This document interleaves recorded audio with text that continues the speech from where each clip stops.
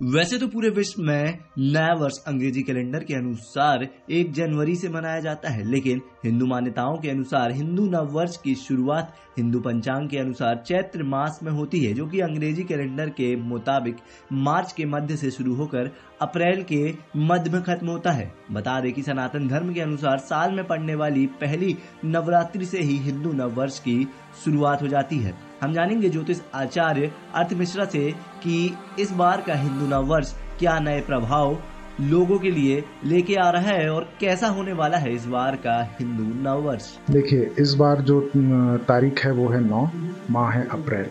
और चैत्र माह की शुक्ल पक्ष की प्रतिपदा से ही नव वर्ष मनाया जाता है। भगवान ब्रह्मा ने सृष्टि का प्रारंभ करना शुरू किया था। वो दिन ही साल का पहला दिन है जिसे हम चैत्र शुक्ल पक्ष प्रतिप्रदा को मनाते हैं।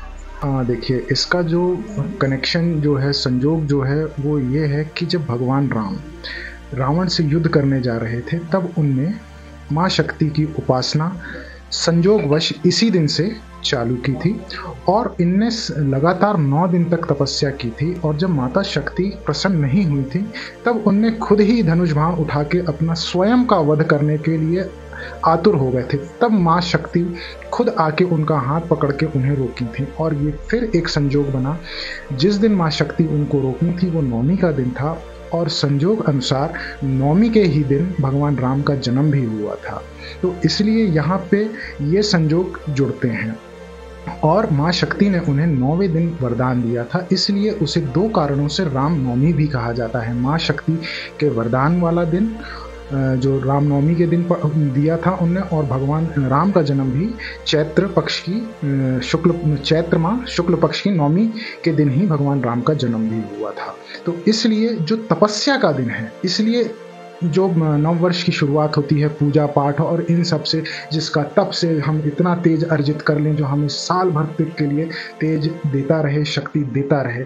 तो ये शक्ति की उपासना भगवान राम ने नौ दिन तक की थी रावण से युद्ध में विजय प्राप्ति के लिए।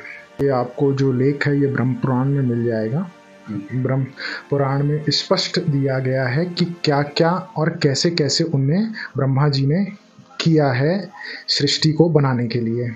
देखिए, जो वर्ष प्रारंभ होने जा रहा है, वो ग्रहण हटते ही प्रारंभ होने वाला है, जो कि अच्छा नहीं माना गया है शास्त्र अनुसार।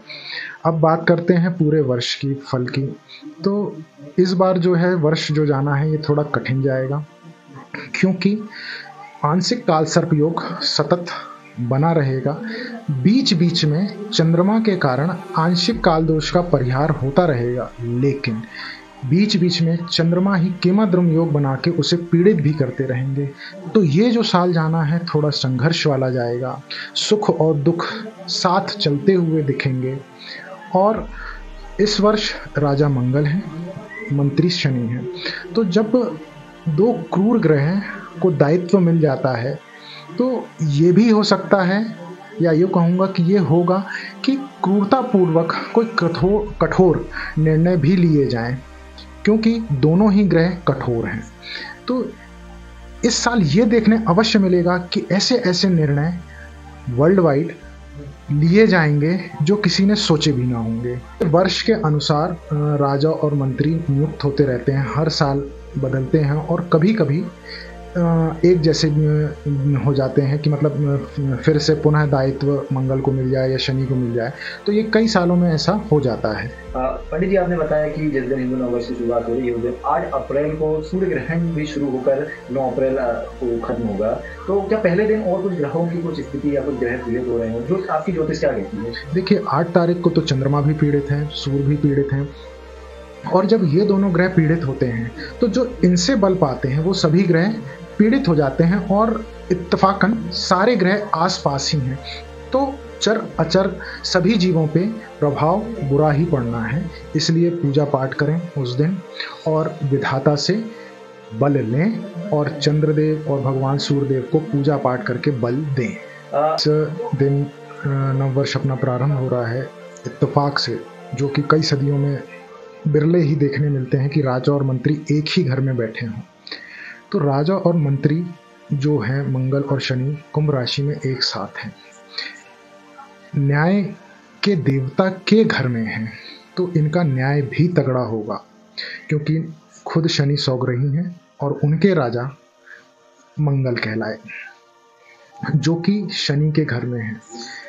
मंगल सेनापति है। सेन, सेनापति का सबसे पहला कर्तव्य होता है अपने राजा के लिए लड़ना। अब यहाँ तो ये खुद राजा हैं। तो इसका सीधा सीधा तात्पर्य ये होता है, सेनापति अगर अच्छा है तो वो न्याय करेगा और युद्ध में लड़के जीतेगा। तो निर्णय जो होंगे, क्रूरतापूर्वक होंगे और यहाँ पे रहम की गुंजाइश इनके न्याय में फिर नहीं रहेगी। जैसे कि आपको बता चुका हूँ कि जो न्याय होंगे, वो ऐसे होंगे जो कभी किसी ने ना देखे होंगे, ना सुने होंगे, ये कहीं ना कहीं देखने में अवश्य मिलेंगे।